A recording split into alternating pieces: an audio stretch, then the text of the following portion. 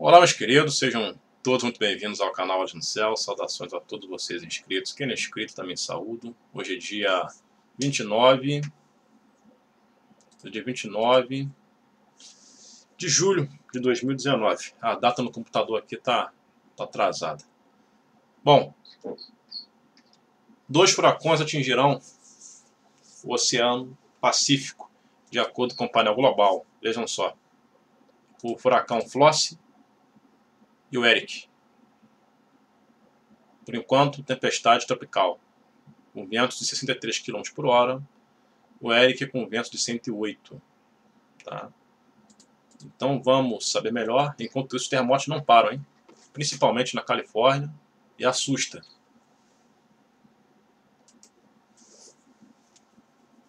Começou a temporada de furacões, né? então vai até o final do ano uma, um bombardeio de furacões, principalmente no Atlântico Norte e no Pacífico.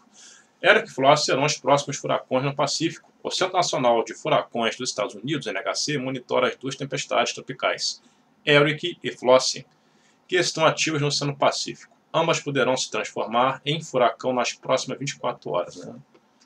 O que importa é saber se vai atingir o solo ou não. Né? Então vamos ler. A tempestade tropical Eric ganha força e deve evoluir muito em breve para furacão, diz o boletim do INHC divulgado no início da manhã dessa, dessa segunda-feira, dia 29, hoje.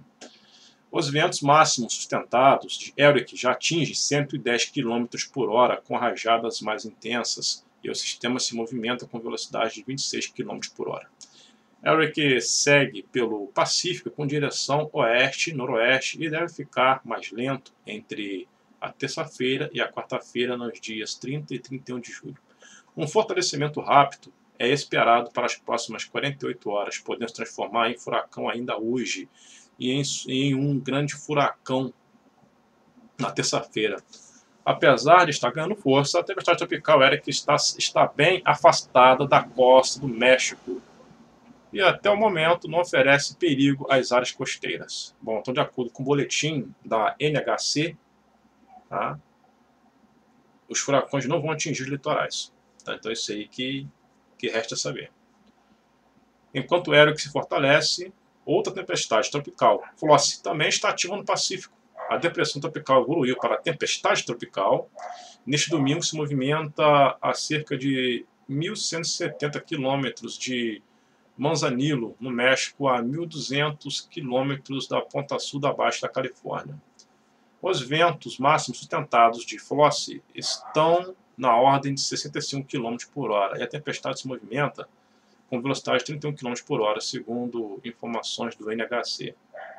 Sua trajetória permanece rumo ao oeste no Oceano Pacífico e um fortalecimento gradual é esperado nas próximas 24 horas. Flossie pode se tornar um furacão até a noite desta terça-feira.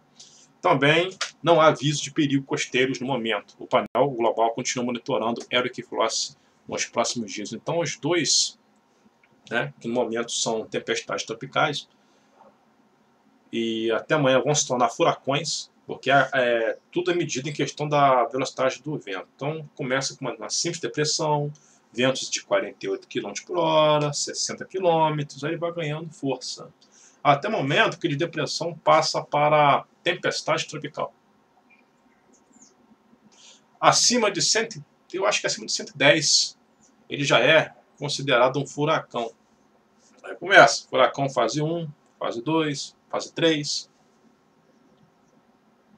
Né? Começa com depressão, tempestade, furacão 1, 2 e 3. Essas são as evoluções.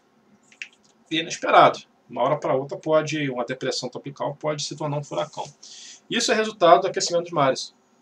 Embora esses eventos são comuns, né? sempre aconteceu isso no planeta, mas a intensidade, a intensidade desses fenômenos de, depende da, da alteração da temperatura do, do mar. Quanto mais aquecer as águas dos oceanos, mais furacões vão acontecer, mais furacões vão atingir os litorais,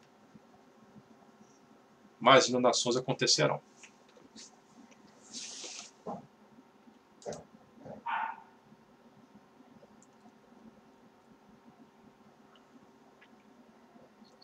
Eu estou usando um outro computador, porque o meu computador principal deu um erro, um problema na, na, na placa-mãe, por incrível que pareça. Aí esse daqui é um pouco mais lento. Mas olha, tive canseira para arrumar, hein? ainda bem que eu mesmo arrumo. Mas ontem eu fiquei o domingo todo mexendo no meu PC. O domingo todinho, todinho.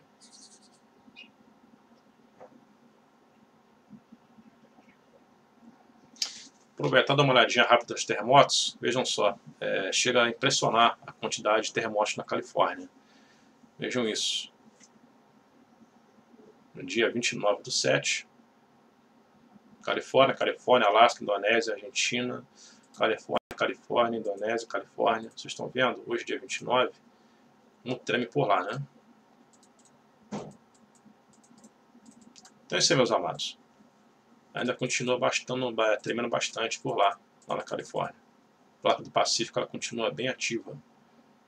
Bem ativa. Alguns dias atrás houve dois terremotos fortes lá na Ásia e vitimou mais de 10 pessoas e deixou 60 feridos. Tá? Então vamos continuar de olhos. Faz alguns dias que não acontece um terremoto forte, né? isso é bom. O último dia que aconteceu um terremoto forte foi no dia 27. Foi dia 27. Também foi dois dias atrás só. Não tem tanto tempo assim não.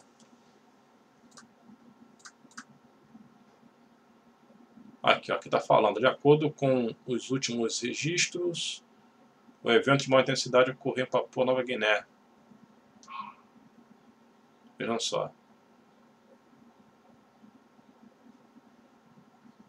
Então é isso daí. Quem gostou do vídeo, dê like, inscreva-se, aperte o sininho para receberem notificações. Forte abraço, paz e luz a todos e até o próximo vídeo.